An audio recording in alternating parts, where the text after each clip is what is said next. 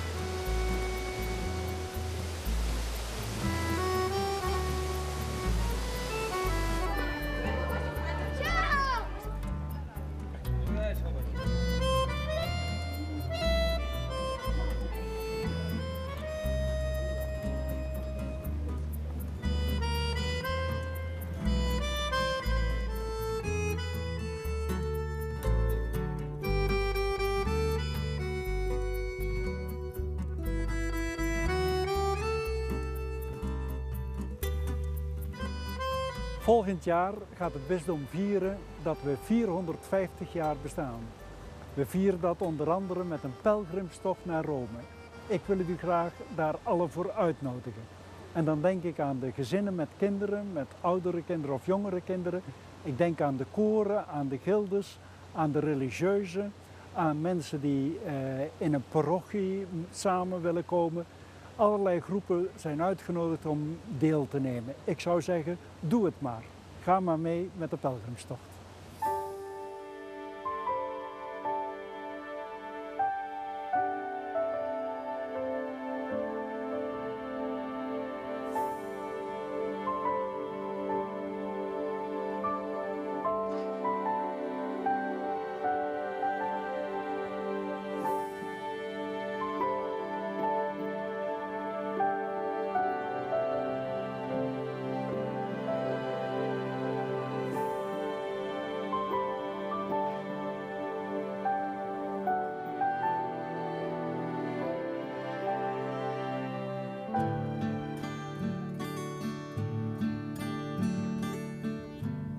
Wat mij heel veel indruk heeft gemaakt in Rome, dat is een audiëntie geweest bij de paus. Dat wij met een Nederlandse groep met Nederlandse jongeren daar waren. Dat een van die Nederlandse jongeren op persoonlijke audiëntie is mogen komen bij de paus. dat was echt alsof we als hele groep naar een persoonlijke audiëntie zijn geweest. En ja, dat heeft heel veel indruk op mij gemaakt. En als ik de mogelijkheid zou hebben, zou ik het graag nog een keer doen.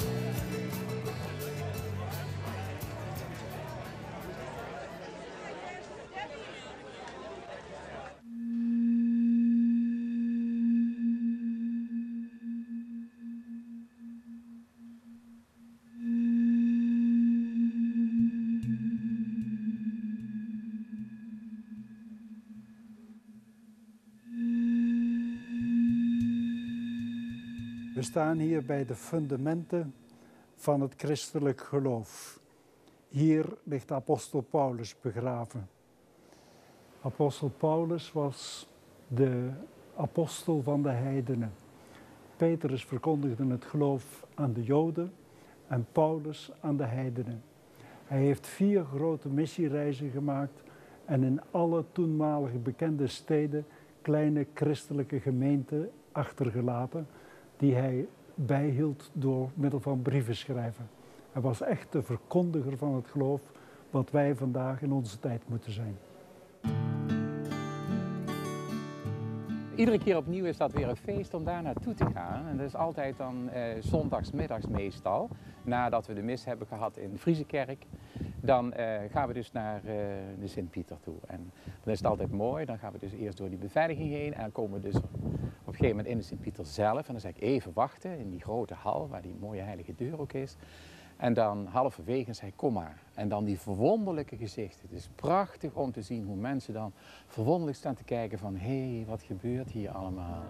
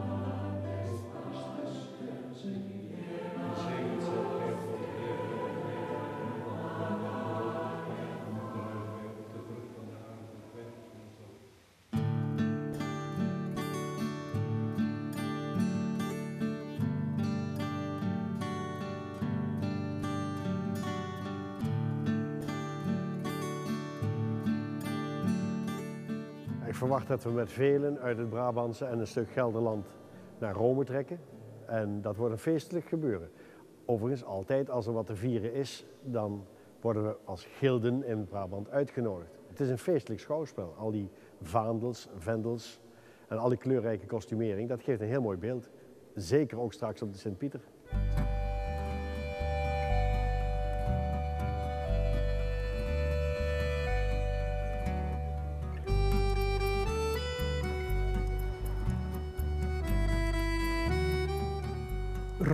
Is een gezellige stad. In het centrum vind je het Colosseum uit de oude tijd.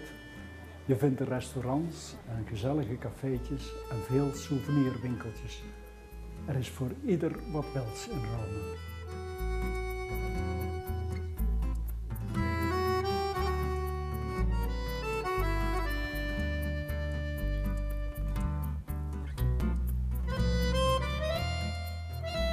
Tussen het bisdom Den Bosch en Rome zijn oude relaties. We staan hier bij het graf van kardinaal van Enkevoort. En die kardinaal was geboren in ons Meerlo. Hij heeft gewerkt tijdens het pontificaat van Adrianus VI, de enige Nederlandse paus. Ook zijn graf is in deze kerk te vinden.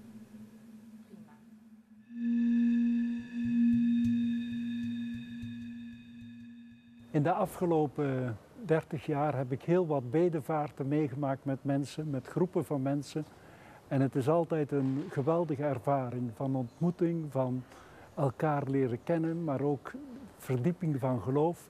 En als je dan in Rome komt, dan weet je zeker van dit was prachtig. Mensen zeggen dan ook aan het einde, ik had het voor geen goud willen missen. Dus ik zou zeggen, ga maar mee, u kunt er nog even voor sparen.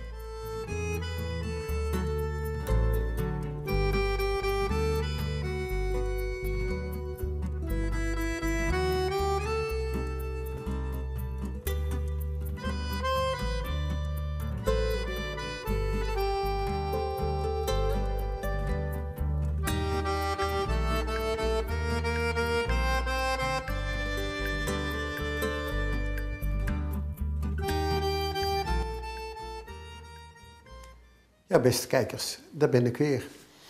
U hebt zojuist de bisschop gezien op verschillende belangrijke plaatsen in Rome, waar wij dus ook hopen te komen. En, nee, hoe, nou loop ik eens vast, Chris. um, beste kijkers, daar ben ik weer. U hebt de bisschop gezien op enkele belangrijke plaatsen in Rome. Toen de mogelijkheid zich voordeed om samen met een heleboel parochies uit het bisdom naar Rome te gaan, in het kader van het 450-jarig jubileum van het bisdom, toen hebben wij hier in S niet lang geaarzeld en hebben meteen eh, ja, die mogelijkheid aangegrepen. Hebben in het plaatselijke blad nog wat reclame gemaakt. Maar we zijn er intussen ook achter dat er parochies zijn waar de mensen eigenlijk niet weten welke prachtkans er nu geboden wordt. En ik vind, S mag mee, maar Haren hoort erbij. En Helvoort mag mee en Biesemortel moet van ons ook niet achterblijven. Hoe gaat het in de praktijk? Die bedevaart speelt zich af in de herfstvakantie van dit jaar, dus oktober. En op vrijdag 23 oktober vertrekken een aantal bussen richting Rome. Die doen daar 2,5 dag over, hebben onderweg nog enkele interessante programmapunten. Komen door een prachtig gebied, Zuid-Duitsland, Oostenrijk, Italië, ik hoef het u niet te vertellen. En die arriveren in de namiddag in Rome van zondag. De treinen die vertrekken een dag later, en die komen ook zondags aan. En de vliegtuigen die vertrekken zondags en komen diezelfde zondag aan. Die hoeven er namelijk niet zo lang over te doen. En dan maandag begint de eigenlijke bedevaart in de Rome. Maandag tot en met donderdag. En dan komen we op diverse plaatsen. Onder andere in de Sint-Pieter, waar we samen een Eucharistieviering zullen hebben. En dat is machtig. U kent het gebouw van de TV ongetwijfeld machtig om daar als Nederlandse groep met je eigen mensen in je eigen taal, om daar de Eucharistie te kunnen vieren. En dat geldt ook voor die andere kerken, de Sint-Jan van Lateranen, Sint Paulus buiten de muren en die prachtige Mariakerk, de Santa Maria Maggiore. Tussendoor hebben we een toeristische rondrit, want het is niet alleen maar bidden. Laat er duidelijk zijn. Dat zou geen mens volhouden en wij helemaal niet. Maar een toeristische rondrit, er is gelegenheid om ehm, op verschillende momenten op eigen gelegenheid rond te gaan kijken. En wat zo fijn is, is hoe je ook in Rome komt, met de bus, met de trein of met het vliegtuig. Er staan steeds bussen voor ons klaar. Dus wij hoeven niet in de metro van de Rome, ook al zou ik daar zelf niet zo moeite mee hebben. Maar we kunnen gewoon met bussen overal naartoe. Dus we hoeven niet van een metrostation nog een eind te lopen tot we bij een bepaalde plek zijn. Nou wilt u natuurlijk weten, hoe lang duurt het? Nou, maandag beginnen we met de echte bedevaart tot en met donderdag. En vrijdag vertrekken we weer. De bussen, die komen de volgende dag aan die hebben dus één overnachting, rijden twee hele dagen en dat wordt natuurlijk kilometers reten. De treinen, die vertrekken diezelfde dag ook en die komen ook de volgende dag aan, maar die zijn er dan iets vlugger dan de bussen. Ja, en de vliegtuigen die vertrekken vrijdag en arriveren ook op vrijdag. En dan de vraag die u ongetwijfeld op de lippen brandt is.